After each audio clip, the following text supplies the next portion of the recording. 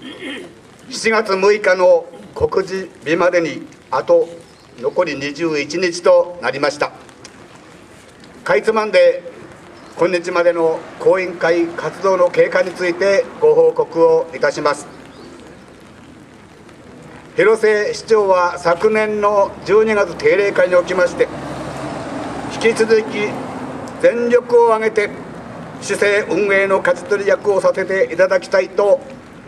参戦出馬の表明をいたしました。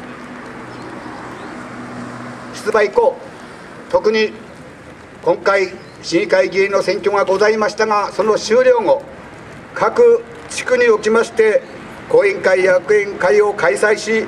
組織の強化と再構築を図り盤石な体制づくりを進めてまいりました。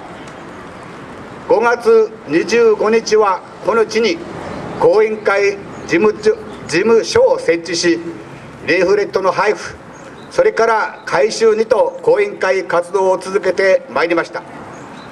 今日まで50数パーセントの回収率でございます。まだまだ告示案には日にちがございます。選挙までにはまだまだあります。どうか70%、80%、100%を目指してのリーフレットの回収にご協力をいただきたいと思います。皆様には最大限のお力を発揮していただき広瀬敏夫市長参戦に向けて最後の最後までのご協力をお願いし簡単でございますけれど今日までの講演会活動の経過報告とさせていただきます。